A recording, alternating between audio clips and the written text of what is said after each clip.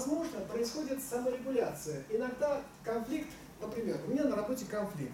Я бросаю работу, открываю собственное дело, я профессионально расту. Это означает, что конфликт конструктивен, правильно? Источник развития. Не каждый конфликт деструктивен.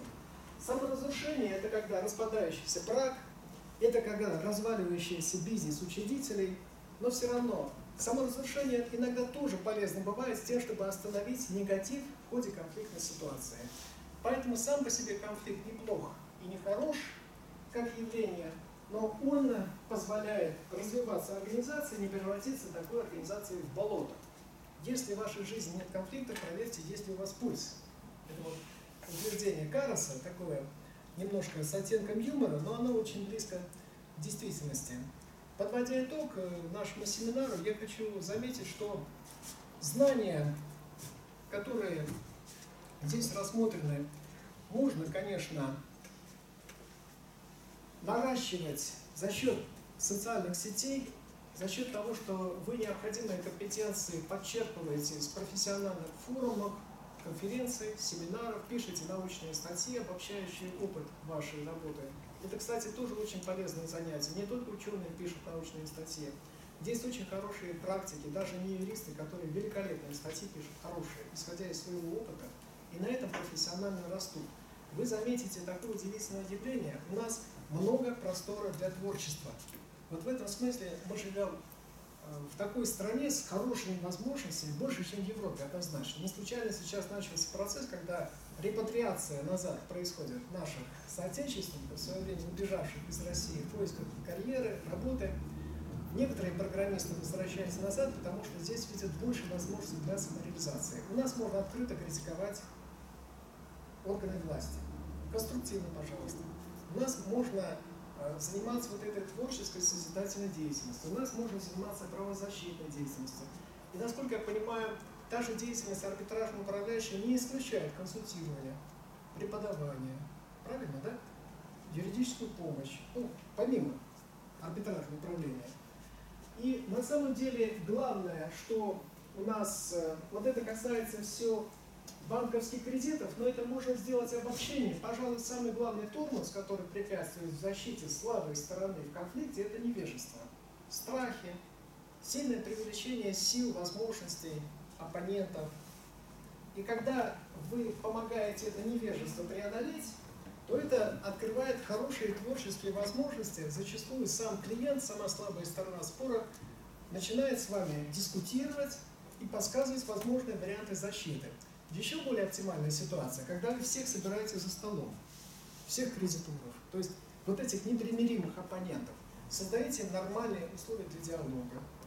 А работает на это ваш авторитет, ваши прошлые годы, что вы со своими клиентами обошлись этично, даже если вы по разные стороны баррикад, этика все равно, понимаете, да? Это вызывает доверие. Ваши оппоненты становятся снова с вашими клиентами. И тогда вот этот диалог позволяет вам, вместо того, чтобы рассматривать атаку на вас вы превращаете в атаку на проблему. Это очень конструктивно. Вот этот кейс мы с вами рассмотрели. Этот кейс мы тоже рассмотрели. То, что касается социальных сетей, я хочу сказать, что вот эта диаграмма символизирует возможность коллективного опыта и знаний, стихийного управления, накопления компетенций, социальной группы и сотрудничества с экспертами. Дело в том, что в рамках защиты одного конкретного гражданина или малого бизнеса вы можете потратить на судебную защиту неоправданно большие средства, экономически нерентабельно. Но если вы найдете целую социальную группу и будете защищать интересы этой социальной группы, то это откроет благоприятные возможности. Не случайно потребительские ассоциации оспаривают действия, например, банков и добиваются результатов. Как, например, Отмена комиссии банка за снятие наличных средств. В Альфа-банке, когда был отток вкладов, 10% снимали комиссии.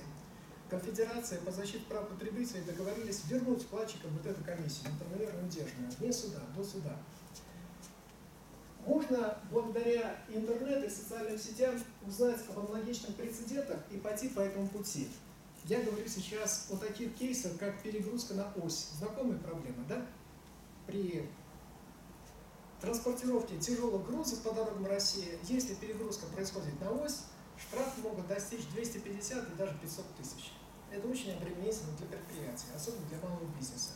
Но если вы найдете прецедент успешной защиты прав, как, например, в городе Томске, вред от дорог испытывает собственник, а собирает вот этот вред другое лицо, которое не имеет отношения к собственности, опираясь на этот изъян, подтвержденный постановлением Федерального арбитражного суда Западно-Сибирского округа, вы можете в аналогичной ситуации защитить другого водителя.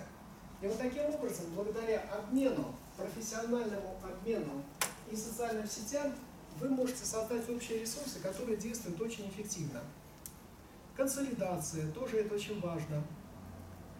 В случае заемщиков программа антиколлектор сыграла больше, чем юристы, многие юристы вместе взятые. Резонансные публикации в масс-медиа, четвертая власть сейчас становится доминирующей в обществе. Просветительские видео, письма обращения к госорганам политики, формирование прецедента, что тоже очень важно. Я рассказываю о тех э, социальных технологиях, которые все-таки общеизвестны. И помимо этого есть еще замечательные технологии урегулирования споров, но об этом я вас приглашаю посетить наш сайт, потому что чувствую, что вы все уже устали, чтобы не было перегруза. Посмотрите, пожалуйста, вот на два сайта. Это наш корпоративный сайт. Вот этот внешний сайт, где медиатор, слэш, Moodle. Там открытые курсы выложены, которые вы можете свободно посмотреть, подписаться на интересующий наш курс по конфликтологии и медиации в том числе. Что касается сегодняшнего нашего занятия, то презентация выложена на этом сайте на главной страничке. Запоминается очень просто. Электронный медиатор. Как в латинице, так и в кириллице. Можете набрать и медиатор.ру, можете набрать и медиатор.рф, как вам удобно. Там выложена эта презентация, вы можете скачать или задать мне вопрос по тем координатам, которые указаны. Если у кого-то есть вопрос, можете подойти, забрать визитку или потом обратиться уже в частном порядке. Спасибо за внимание.